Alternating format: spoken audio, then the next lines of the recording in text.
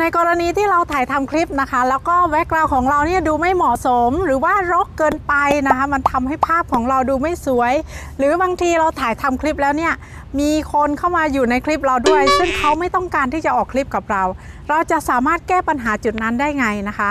วันนี้นะคะก็น้อยก็เลยมีวิธีนะคะที่จะ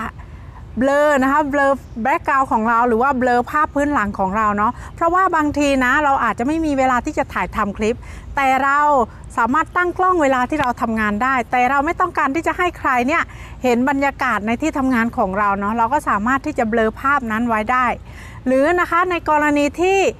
เนี่ยแหละที่เขาน้อยใส่เสื้อเขียวนะคะ แล้วก็มาถ่ายทำคลิปในสวน มันคือเขียวไปหมด คือมันแยกแยะไม่ออกว่าอะไรเป็นอะไรเขาน้อยก็ต้องการที่จะให้ตัวเองนะคะ โดดเด่นขึ้นมาเนาะก็เลยต้องมีการเบลอภาพข้างหลังนะคะ เข้ามาช่วย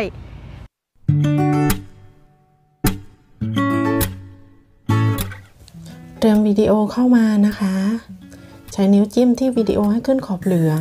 ไปที่ 3 จุด คัดลอกเป็น layer หลังจากนั้นนะคะให้เลื่อนหาคำว่า crop นะคะ แล้วก็เปิดมาร์ทเลือกรูปทรงเป็นทรงกลม แล้วก็ปรับขอบเบลอนะคะ ให้เยอะๆเลยนะคะ ทีนี้นะคะก็ตัดขอบนะคะ ตัดขอบให้เข้ามาใกล้ตัวตัวเรามากที่สุดนะคะ ขยับขอบเข้ามาค่ะ พอได้แล้วนะคะ ทีนี้ก็ให้ขยับวางนะคะ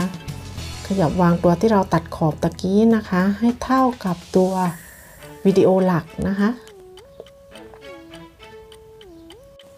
พอได้แล้วนะคะใช้นิ้วจิ้มที่วิดีโอหลักนะคะ ไปปิดเสียงเขาไว้ค่ะ เพราะว่าเดี๋ยวเสียงตีกันเนาะอ่าทีนี้ไปที่ layer นะคะ ไปที่เอฟเฟกเลื่อนหาคำว่าเอฟเฟกพื้นฐาน เลือกการเบลอภาพนะคะ แล้วก็ปรับเอฟเฟกให้เต็มหน้าจอ หลังจากนั้นก็ยืดเอฟเฟกให้จบวิดีโอค่ะ กดเครื่องหมายถูก แล้วทีนี้เลื่อนมาข้างหน้านะคะ จิ้มที่ layer ที่เป็นวิดีโอนะคะ ไปที่ 3 จุด